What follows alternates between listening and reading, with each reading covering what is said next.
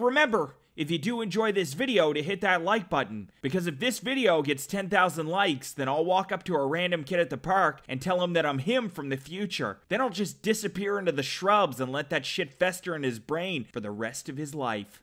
Oh yeah. Now go ahead and dip your butt cheeks in a bowl of Count Chocula, and let's get to average bait, baby.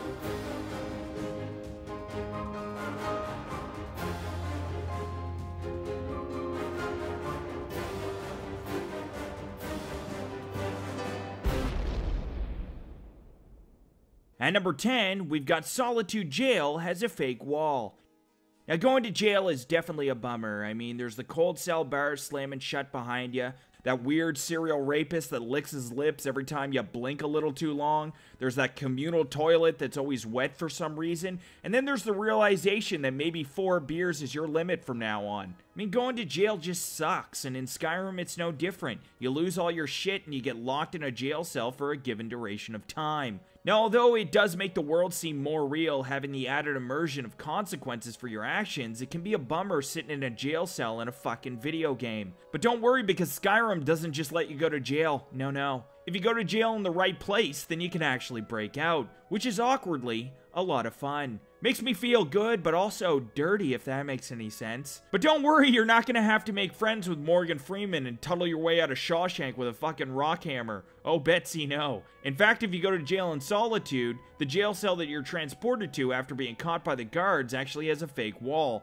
which you can knock down. And if you do knock it down, you can just meander on out of there like uh, fucking nothing happened. It's one of the most efficient prison escapes ever. It's not even a hard wall to knock down. And there's like a notification when you stand in front of it. Do you want to knock down this wall? I most certainly do. Thank you very much. Similarly, if you get locked up in Whiterun, there's a grate leading to a sewer escape which is pretty cool, which makes escaping from both Solitude and Whiterun a real option rather than serving the sentence like a law-abiding citizen. Furthermore, if you're arrested in Winterhold, you're actually taken to a cave rather than a jail cell, which is a fun fact that I just felt like I needed to tell you guys about. Oh, also, if you get arrested more than once in Solitude, do note that the fake wall will not be an option the second time, because they fortify the shit out of it. Yeah, those guards, they're not going to be made a fool of a second time, alright? So use your Solitude Get Out of Jail Free card wisely the first time around. I rate this detail one gym teacher that's terrible at demonstrations. Hey, Mr. Porter, are you okay, man? Yes, Billy, I'm fucking super. Can you go get the nurse, please?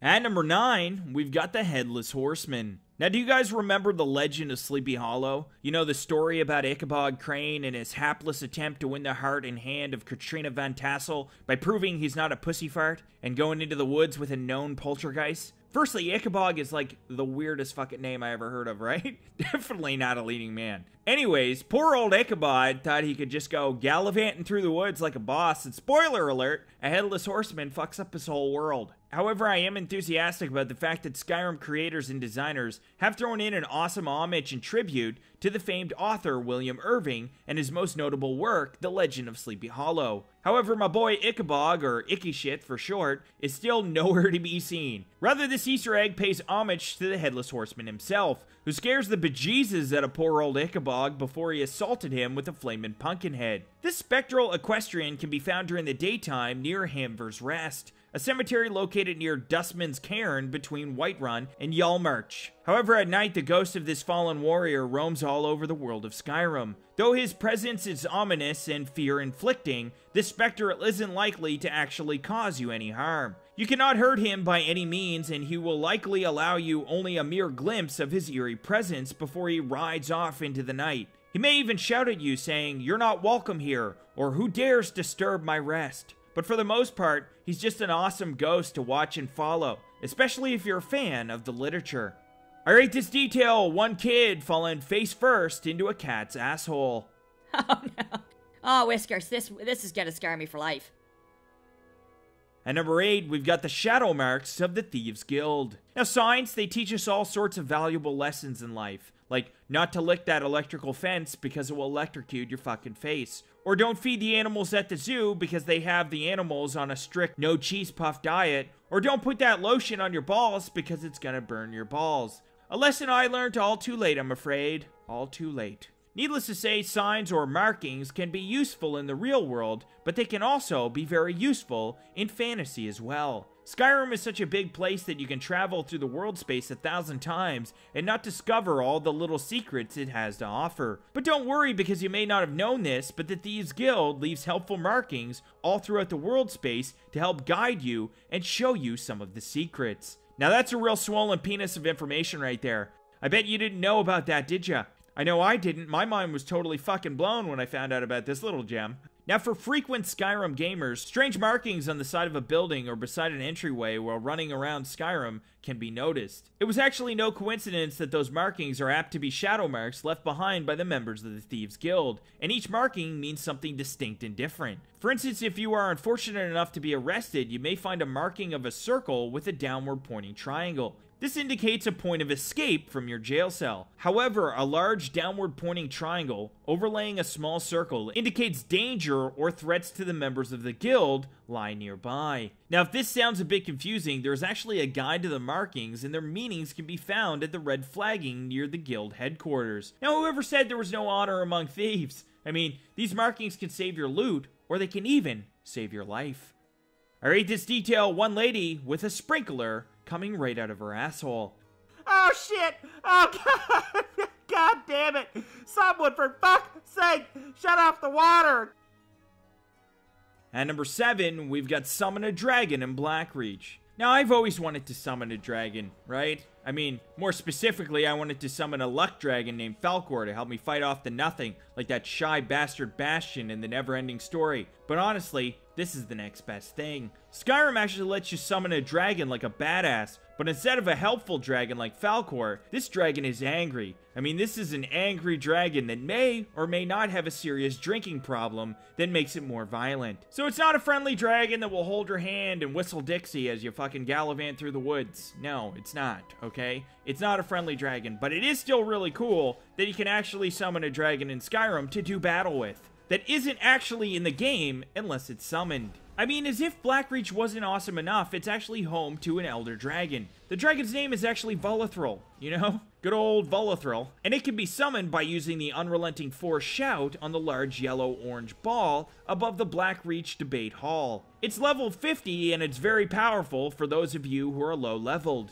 So do note that if you summon this bad boy prematurely, it will slap your penis all over Blackreach, but like in a bad way. Not good slaps. Very bad, violent, level 50 dragon slaps, okay? So fucking, you know, only only summon this guy if you can if you feel like you can beat his ass, alright? If you do decide not to attack and just run away, he'll start attacking all the nearby creatures which is pretty cool. He's just angry. He's an angry fucking dragon. He's got a drinking problem. He wasn't held enough as a baby. He's violent, okay? He wants to hurt people. Now, do remember that you can only summon this dragon once, so make sure that you're ready when you do. I rate this detail one guy who thought he'd go under the hurdles rather than over them like a genius, and it ended terribly. Ah, my fucking face!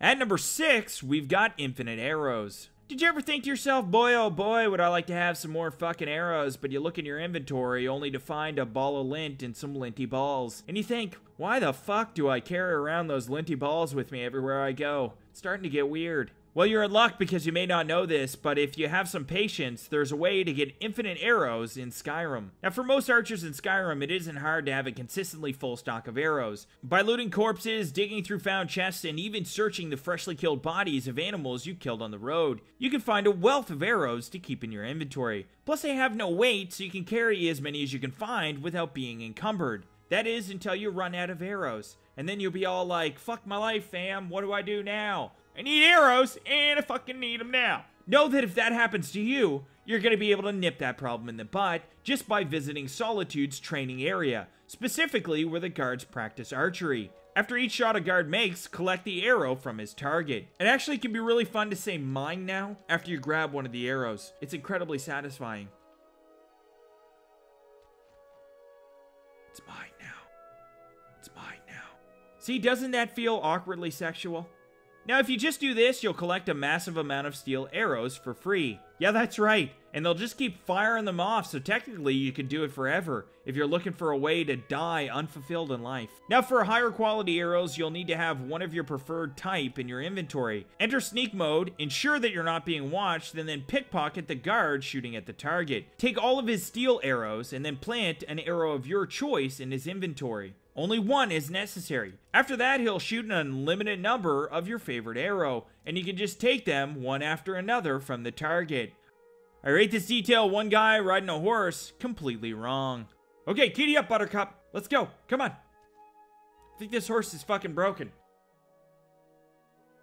At number 5, we've got Winnie the Pooh in Skyrim. Do you guys remember that rambunctious Pooh Bear that was always getting himself into all sorts of sticky situations? Whether it was trying to get honey from a nest of angry bees and getting stung in the eyeballs a precarious amount of times, or disguising himself as a cloud, or maybe getting stuck in Rabbit's doorway because he ate too much and his food baby was too big to fit in a tiny rabbit sized doorway. Or maybe you remember his friends, that depressing as fuck gloomy gray donkey named Eeyore, or that frisky tiger who has an alarming amount of self esteem issues. You're a fucking tiger, bro. Okay, scaring the tits off of an antelope drinking at the waterhole. That's what tigers do best, okay? Get your fucking life together. Or maybe you remember that timid little piglet who sounds like a pedophile. Well, if you don't, then I'm here to remind you about Winnie the Pooh Bear and the legend that he was. Also, you might be wondering what the fuck does Winnie the Pooh have to do with Skyrim, right? Well, wouldn't you know it, Jim Cummings, the voice actor who voiced Pooh Bear, aka Winnie the Bitch, voices a lot of the characters in Skyrim. That's right, he voiced Skald the Elder, Vignar Greymane, Olfrid Battleborn, and many more. If you've interacted with anyone in Skyrim, there's probably a chance that that person was voiced by Jim Cummings. Because he's voice acted up a storm in this bitch. Jim does a great job on the different characters he plays, making each one feel and sound a bit different. Two of the city's oldest and most respected clans. And we could trace our histories all the way. This is just one of those details you wouldn't know about unless someone on the internet told you about it, so you're welcome. I rate this detail one guy diving headfirst into a campfire. Mistakes were made! Mistakes were most definitely made. At number 4, we've got the movie reference from 300. Now, if you haven't seen the movie 300, it's about 300 overly aggressive, underdressed soldiers picking a fight with a really tall tyrant that glitters his balls. So you know he's a fucking psycho. After watching that movie, I knew that if I ever wanted to be a tyrant myself, I would at least have to powder my balls. Alright, enough about me and my glittery tyrant balls. Do you all remember that scene in 300 where a way too young Leonidas goes up against a frisky wolf in the icy tundra of Greece's colder climes? Now, the wolf thinks he's got Leonidas cornered, only to get bamboozled by a tiny funnel shaped crevice. Then Leonidas, in nothing but a pair of tidy whities, stabs the big, scary, but now fully discombobulated wolf in the fucking face with a homemade spear. Yeah, that scene. Yeah. Well, if you travel south of the Shrine in Peryite in the Reach, you'll come across a human skeleton lying near the remains of a sabre cat trapped between two rocks. The poor thing has a glass sword stuck in its mouth. Which isn't totally accurate because Leonidas had like a really big toothpick and not a fancy glass sword, but the reference is still blatantly obvious. I guess in Skyrim's version though, Leonidas just fucking died like a second later, which is kind of a bummer for him, right? That or he lived his whole life and then when he knew it was coming to an end, he wandered back to the same place that he stabbed the wolf in the face and died right next to his old foe like a real sport. Either way, why the fuck is that skeleton there if he got the upper hand on the big cat? Also, how did the cat stay wedged like that? And why is the person decomposed but not the cat? I have so many questions right now. Either way, this is a really cool detail that a lot of Skyrim players might have missed. I rate this detail one police officer who's had it up to here with jaywalking chickens. I don't care about your motive, Mr. Chicken. I recommend you fucking lawyer up, because I got you on multiple offenses, okay? At number 3, we've got Mario as Paarthurnax. What if I told you that Paarthurnax was a short, pudgy Italian plumber who resides in Mushroom Kingdom and likes to scissor kick turtles in the fucking brain? Okay, at this point you're probably wondering what the fuck I'm talking about. Some of you probably think I've gone fucking insane because clearly Paarthurnax is not an Italian plumber. He doesn't even have a fucking mustache, right? Well, not exactly. The voice actor who voiced Super Mario in the 1990s, Charles Martinet, is the same person who stars as Paarthurnax in Skyrim. Now, to be a fly on the wall of that edition, wow, that would be a sight to behold. I can see it already. It's a me, a Paarthurnax. Yeah, that was that was really something there, Charles. But uh, can we try something maybe a little different with the next one? Maybe try some range. you think? It's a me, a Paarthurnax. Oh God. Now, Charles did an amazing job on Paarthurnax, and he is by far one of the most memorable characters in Skyrim. He's just a super chill, old as fuck dragon who will do just about anything for the protagonist. He's the leader of the Greybeards, even though he clearly doesn't have a beard, and he plays a pivotal role in the main quest of the Dragonborn. Word as it fills your inner self. Will I teach you, Dovahkiin? Now, because Charles is such an amazing voice actor, there's a good chance that nobody would have known about this if it wasn't for the internet. So there you go. That's a wicked detail. You're welcome. I rate this detail one monkey that doesn't believe in foreplay. At number two, we've got pickpocket somebody's heart. Now, I think it's safe to say if someone bamboozled me and ran off with my heart, I'd be more than just a little upset. I'd be downright dead as fuck. All right? You cuz you can't live without your heart. I know this, okay? I've been to grade 3. I know what you guys are thinking. How do you steal somebody's heart, right? Well, just ask Isabella, that sexy sphinx. You broke my heart!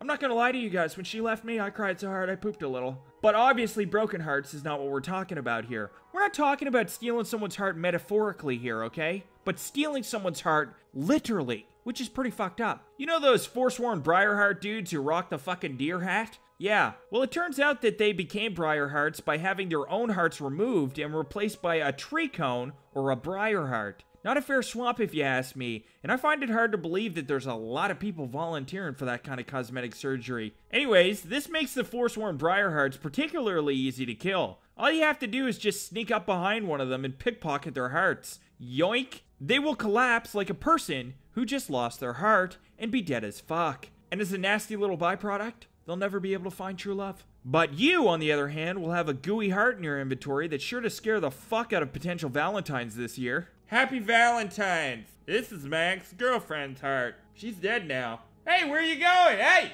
are you single? I rate this detail one panda reminding everyone why it's an endangered species. And at number one, there's no dragons in Skyrim. I bet you guys thought that was a dragon, didn't ya? Sure did. Looks like a dragon to me. What if I told you that that wasn't actually a dragon? I would probably be completely devastated, most likely. Well, those dragons actually aren't dragons, they're wyverns. What are wyverns, you might be wondering in your squishy think organ right now? Well, they're the two legged cousin of the four legged dragon. That makes the main character a wyvern born and possibly a fucking liar. I get it though. You tell people you're a dragon born and people get a little boner. You tell people you're a wyvern born and they're like, oh god, that's awful. Sounds disgusting. Is that an STD? Does it come out on your mouth? What is that all about? How did you get that? What did you touch with your mouth to get that? That sounds awful. Now, I'm not sure what possessed the developers at Bethesda to base an entire game on a mistaken understanding of a long term fantasy lore. But I can tell you this they're fucking savage as fuck. They do what they want. Up until I did research on the internet, I didn't know the difference. Okay, they could have given the fucking dragons three legs and two dicks. I still would have thought they were dragons. They all look like fucking dragons to me, okay? You know, it's a weird dragon. It's a weird fucking dragon, but it's a dragon nonetheless, you know? Then the internet told me that's not a dragon, so I was like, alright, fuck it, I'll go with it. And again, maybe the dragons of Skyrim just have a heavy wyvern s feel to them, right? Wyvern or dragon, who cares? They're just a giant fictitious reptile, right? Potato, tomato, potato, monato. Who gives a fuck, right? They're all still big bad motherfuckers. One leg, seven legs, two dicks, one eyeball. Who cares? I can honestly say I wouldn't kick them in the sack, regardless of their origin story, because they'd still bite your fucking head off. Either way, it's a really cool detail that I'm sure not a lot of people knew about Skyrim. I rate this detail three cats trying to become a helicopter. Okay, everyone move to the right really fast, and we should achieve lift. No, your other right, Kyle, you fuck! Thanks again for watching, folks. Hope you enjoyed this video, and if you did, be sure to bitch slap that subscribe button like it's three weeks behind on your rent. Bitch! Where's the money, bitch? Where's the money? Where is it? Also, go ahead and hit that bell icon too, because apparently YouTube thought there should be extra steps. Why not, right? I'd like to subscribe, but first I have to click this and this and do this. Oh, it needs an email. All right, and this. Okay, fuck. Just tell me when he's uploading. Fuck! Once you do all that, if you're lucky, at the stroke of midnight, a tiny little average Spader's fairy might come and tickle your butthole. Now, I hope to see y'all again next time, and remember to keep on average baiting, baby.